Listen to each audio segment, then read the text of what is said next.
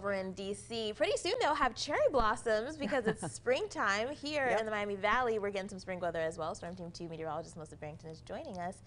Where are, do they have cherry blossoms here? I haven't seen them since being here. I don't, I don't know. But there will be plenty of flowers and, and a great day for hiking and nature watching around here. Right. Today will actually be a really nice day. We won't see really any flowers though, unless you have them at your house, like indoors. But uh, Yeah. outside, it's going to be cold, but actually really nice out later on this afternoon. We're So, excited to see the sun. Yeah, lots of sunshine out there. Currently, temperatures are in the 20s as we start out our mornings. This is seasonably cold for this time of the year.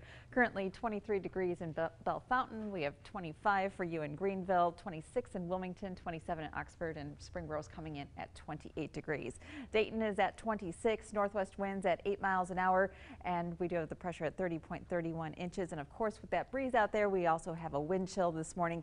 Feels like it's in the teens, so if you're an early morning riser, want to get that exercise in early, just make sure that you dress appropriately as you head out the door. But temperatures will be warming up pretty nicely this afternoon.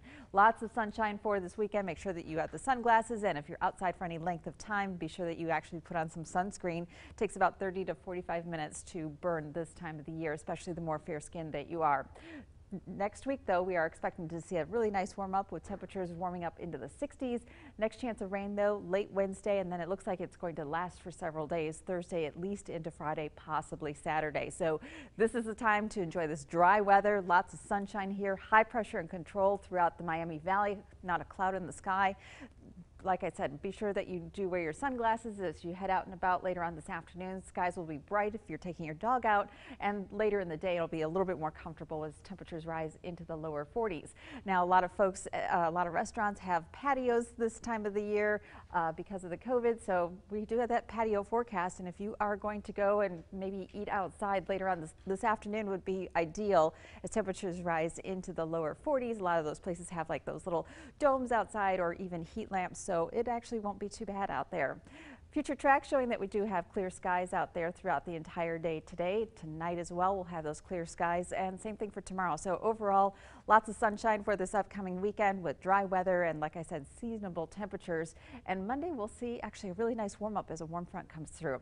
Today near 45 degrees with lots of sunshine. Tonight clear and cold down to 23. And then tomorrow we're expecting an abundance of sunshine once again with a high of 45. Your extended Storm Team 2 forecast here. We continue with this dry stretch of weather and plenty of sunshine through Tuesday. Look at this Monday near 60. Tuesday around 60 and then Wednesday looks like late in the day we could see a few showers but then we turn into a soggy pattern so we do have several days of rain towards the end of the week but temperatures